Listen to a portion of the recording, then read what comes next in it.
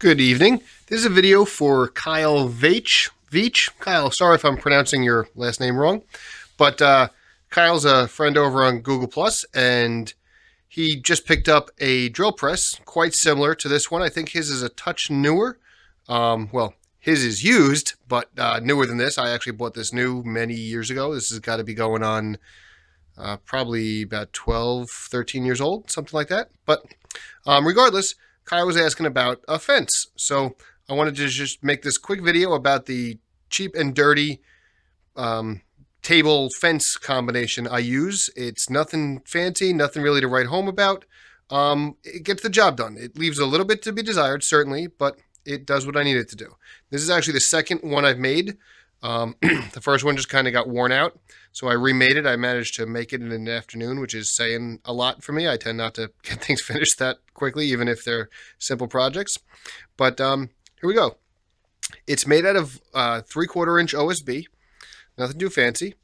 Got a, a fence in the back, the main table, and if we come down here, see there's another piece. In this case, it's a scrap of three-quarter inch plywood. Um, could be OSB. It doesn't really matter.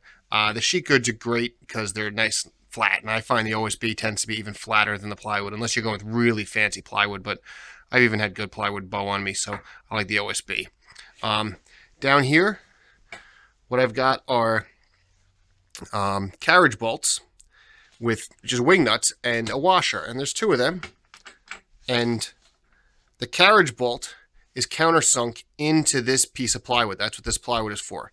And you loosen them up, and they allow the whole thing with the fence and all to move around up and forth. It it doesn't need to be perpendicular or parallel with anything because it's just a drill. So I can twist it, don't really need to, but I can bring it in and out where I have to.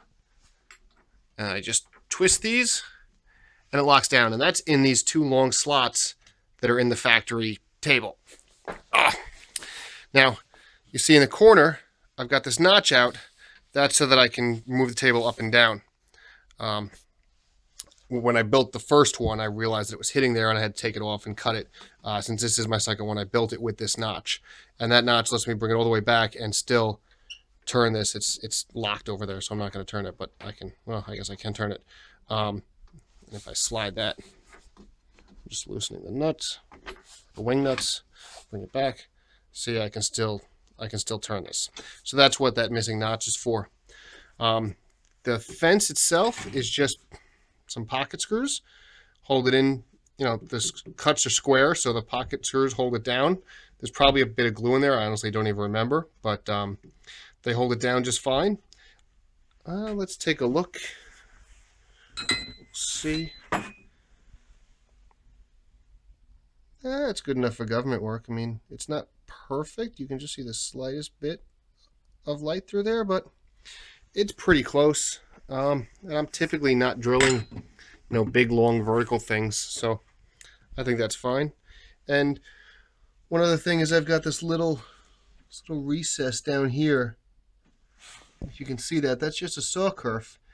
And what that does is that's just a space for sawdust to go, so that if there's sawdust built up on the table and I take a piece and I push it against the fence, this way the sawdust gets into that little recess rather than getting stuck between the workpiece and the fence and keeping it off or cocked or, or um, out of where we want it to work. So that uh, that's really it in a nutshell. Here's some short little screws. These are br little brass screws that hold this to that sub base of plywood that's about it. I got a hole here from over drilling, and you see these stains. That's from working on pinewood derby cars. I'm wet sanding when um, axles are stuck in here, so it gets a little wet and metal, but it doesn't really matter because when this wears out, I'll make another one. Um, it's a very simple table. For this drill press, I don't know that I'll ever upgrade from this thing. Um, I suppose I may go into some project where my drilling needs to be so dead on perfect that this table is no longer enough or build some repetitive process. I mean, the the big one, the big aftermarket drill press table that Woodpeckers makes is very nice, but I think for what I use my drill press for and for this drill press, it would be complete overkill, especially considering the fact that the drill press, I, I pulled it up onto the bench right now to sh shoot this. Normally, it lives over in that corner. Um, it doesn't get used that much, and I don't have the space to leave it up on a counter all the time. So I'm not going to go with a bigger table. I'm, I'm really locked into a table of that size. So that is my drill press table. Very quick to make. I would, uh, if you don't have one on your drill press, I would highly recommend it. It can be done cheap in an afternoon, and um, and you'll see a big improvement in in the drill press using this. And I I clamp stop blocks to this back fence all the time.